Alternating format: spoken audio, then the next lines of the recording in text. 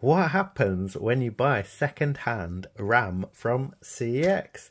Well, this is kind of what happens. I ordered uh, two sticks of 4 gigabyte DDR3 RAM. I ordered five sticks of 2 gigabyte DDR3 RAM here, and then five sticks of DDR2 RAM 1 gigabyte sticks here.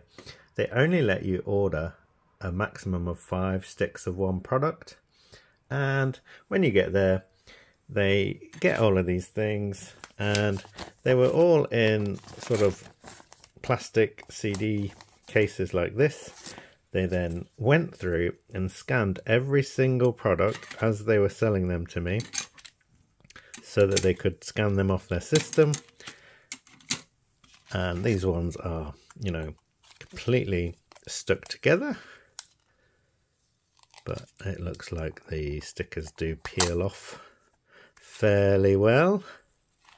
And then after they'd scanned them all, I'd paid.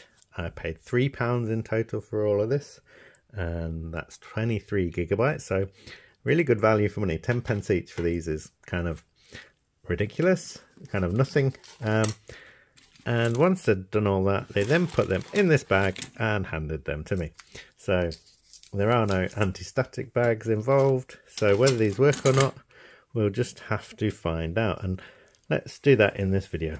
So I'll spend however long it takes to peel these stickers and then just quickly show you what we've got. We've got SK Hynix or Hynix sticks there. We've got a Kingston, a Hynix again or Hynix, I don't know how to say that. Samsung, Hynix again, so those two look like they match. Samsung here, another matching pair. And in terms of the DDR2 RAM, we've got two sticks of Samsung. Look like they're from different uh, factories perhaps. We've got an Elpida an Elixir, and another Hynix or Hynix. Um, so yeah, I'll just take these stickers off and then we'll get a system together and start seeing if they actually work. I mean, this obviously won't work with this sticker on because it's covering the contacts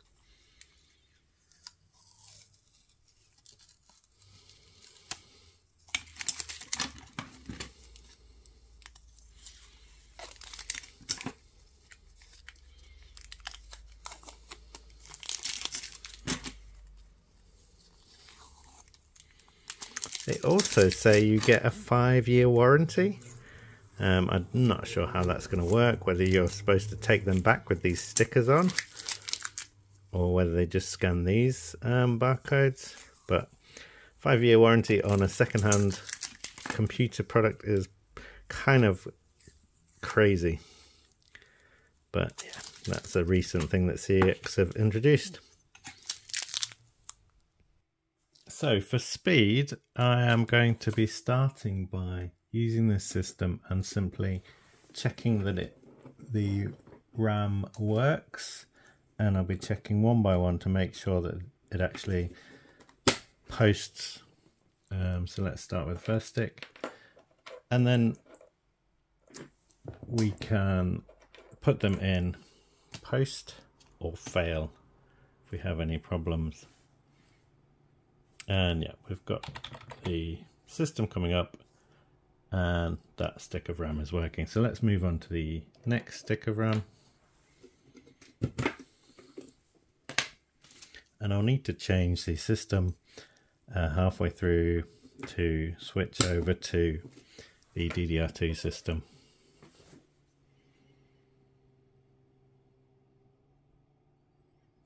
And yeah, that one's posted once I've done this, my plan is to put them in a system and leave um, memtest running so that I actually know that these uh, memory sticks are good.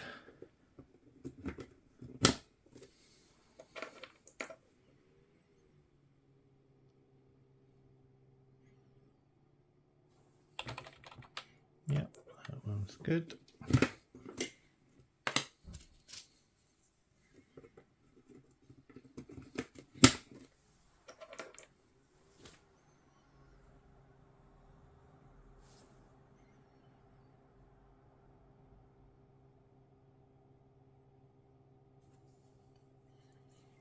So this one, I'm not getting anything on the screen.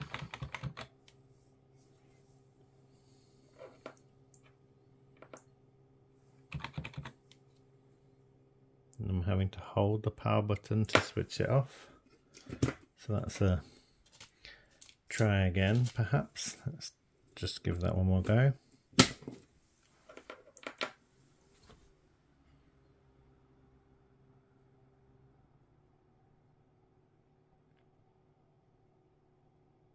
Okay, it's posted that time. It's possible if there's, you know, been stickers on these that the contacts aren't going to be as clean as they should be.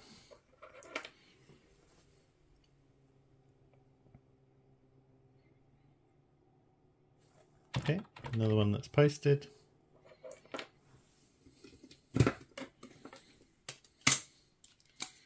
Still on DDR3 memory.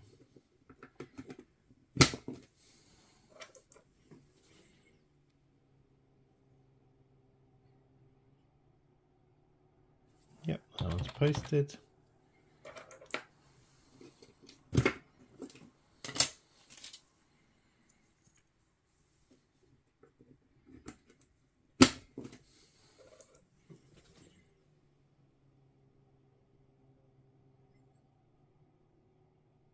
Yep, that one has also posted. So let's move on to checking the DDR2 RAM. Just as an example of the condition of the memory stick, you should be able to see here that the contacts on this are in quite poor condition and could definitely do with cleaning.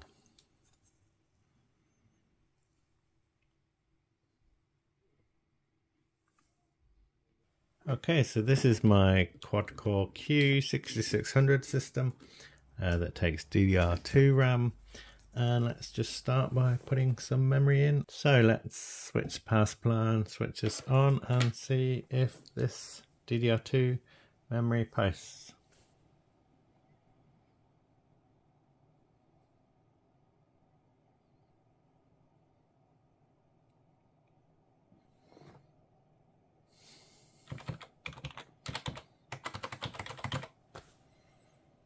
Hmm. Don't seem to be getting anything from this one. Let's have a look at the connections.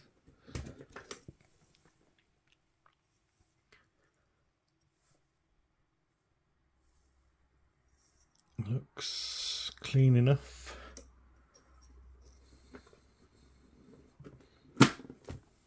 Try again.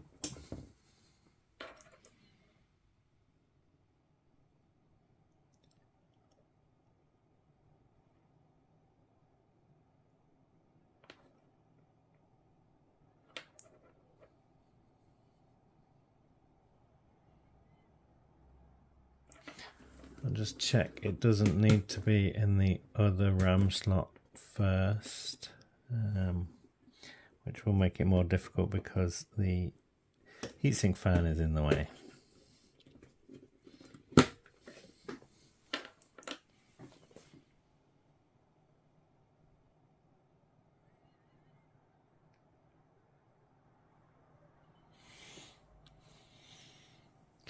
Not working. Let's um I'll just try the memory that was working in this system just to confirm that it's working.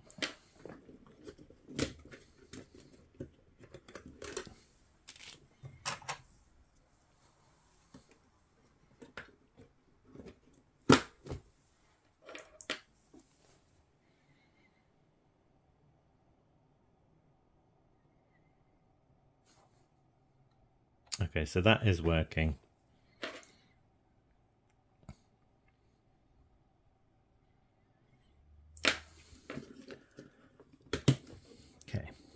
Let me try this one more time.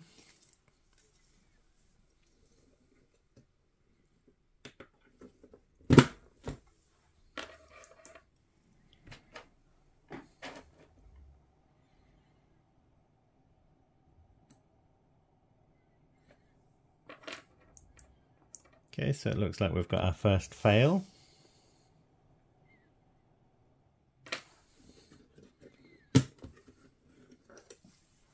That can go in the fail pile. Let's move on to the next one.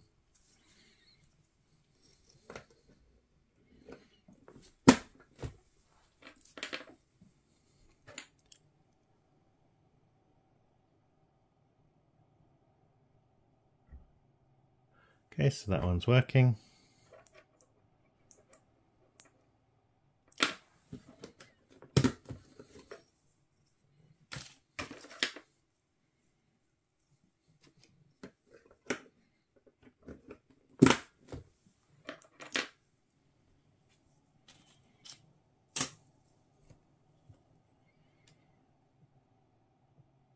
That one's working.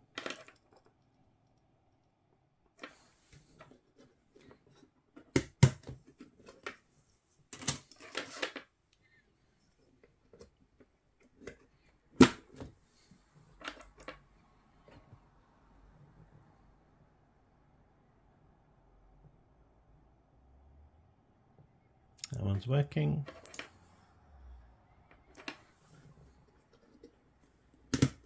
And now for the final one, which looks in pretty poor condition.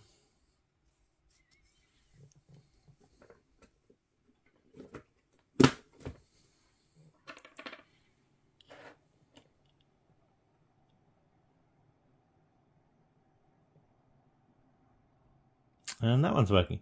So overall, we have one stick that has failed and the rest are working. Now all that's left for me is to actually run a mem test on these to do a full test of the memory to see if it's working properly and take it from there. So I'll go off and run mem test on all this memory and then let you know the results on a screen to follow and if you've enjoyed this video, feel free to subscribe, leave a comment, click the like button, and look out for some more videos coming soon. The 8 gigabytes of RAM, the two sticks of 4 gigabytes have passed the MEM test. The 4 gigabytes of DDR2 RAM has passed the MEM test. And finally, the four sticks of DDR3 2 gigabyte RAM has also passed the MEM test. So that's great. There's only one stick of memory that I haven't run through MEM test. Um, but for speed, I'll just say this has been a relatively successful uh, result with the only problem being one stick of RAM that failed and as it only cost 10 pence, I'm not too concerned. Thanks for watching, bye!